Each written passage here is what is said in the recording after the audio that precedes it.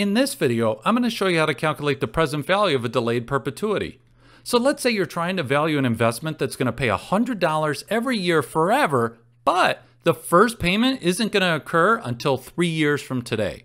So the way you'd go about valuing this is you first calculate how much that perpetual stream of cash flows will be worth two years from now. Okay, so here's our stream of cash flows. The first $100 cash flow starts three years from today, and we're going to calculate the present value of that stream of cash flows as of two years from now.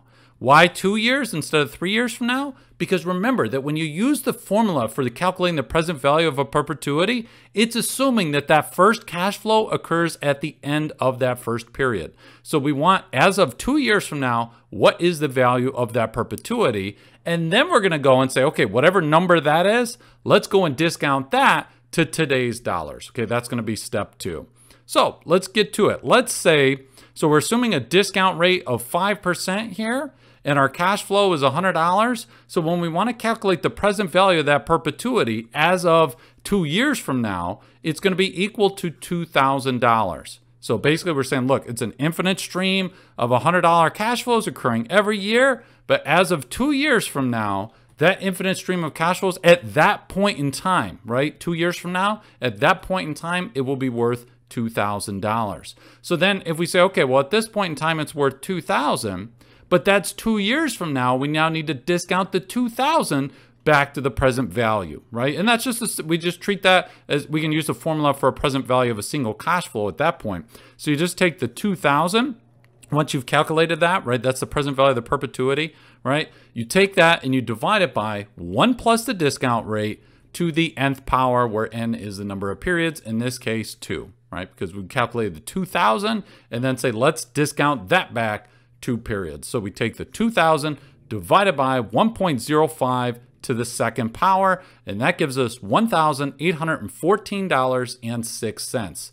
And that is the present value, that's the value in today's dollars of that delayed perpetuity. Now, don't make the mistake. You have to be very careful. When some people do this, they go and they calculate the present value of the perpetuity, but then they would, when, when they're calculating the N here, they would put in three instead of two because they said, wow, it doesn't the first cash flow doesn't occur until three years from now. So they would use that three. But remember, as I said, when you're calculating the present value of a perpetuity, that's assuming that first cash flow is going to occur one year or at, at the end of that first period. So that 2000 is the value of that perpetual stream of cash flows as of two years from now.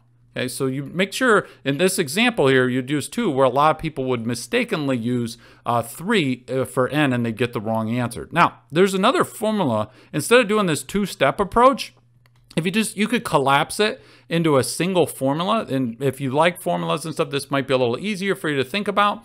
You could just say the present value of a delayed perpetuity equal to the cash flow divided by the discount rate, which remember this is the formula for a regular perpetuity, and just multiply that by 1 divided by 1 plus r to the nth power. It'll get you the same place as this two-step process. Uh, it's just a, a, faster way to do it if you if you know the formula. So we'd have 100 divided by uh, 0.05, which we already saw was $2,000. Multiply that by 1 over uh, 1.05 uh, squared, and that will give you the same answer that we had before, $1,814.06 is the value of this delayed perpetuity in today's dollars.